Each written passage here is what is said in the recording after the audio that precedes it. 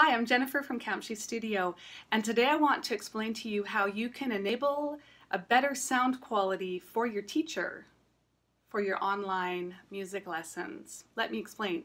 When you are in Zoom, Zoom has a feature that cancels background noise, which is good if you're having a conversation.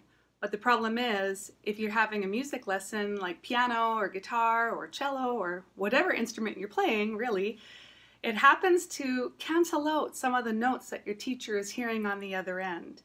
And also, this information is handy for teachers too, because if you enable a better sound quality for your students on the other end, then everybody wins and everyone has a great sound. So let me explain and I will show you.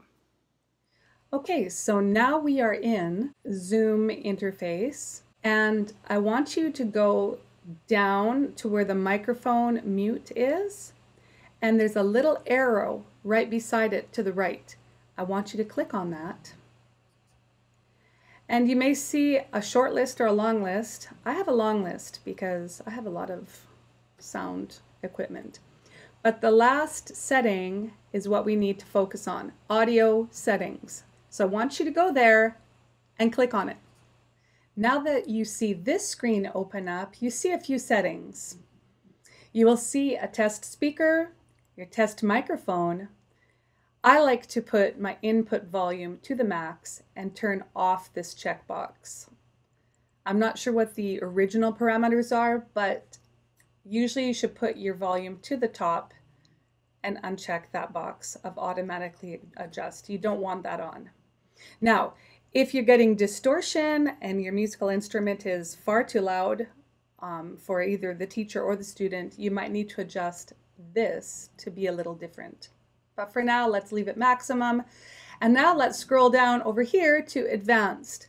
You need to click on advanced and you're going to see a few um, other things that you can check off. Now, this probably won't be checked off. So what you need to do is make it turn on. Okay, so that little box should be checked blue. And that's, I will explain that it'll show you at your start screen if you have your original sound or filtered sound on or off. So you want to check that off.